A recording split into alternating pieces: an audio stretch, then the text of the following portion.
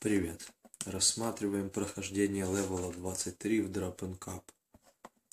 А, мячик даже не прогрузился, такие баги случаются.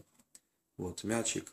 Как видите, по прямой нам не удастся попасть в стакан.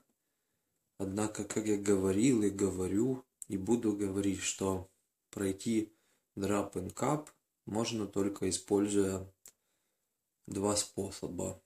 Вовремя подобрать момент и умело подобрать угол. Что мы и делаем. Здесь получится забросить мячик только от земли. Подбираем угол. Вуаля. Еще раз.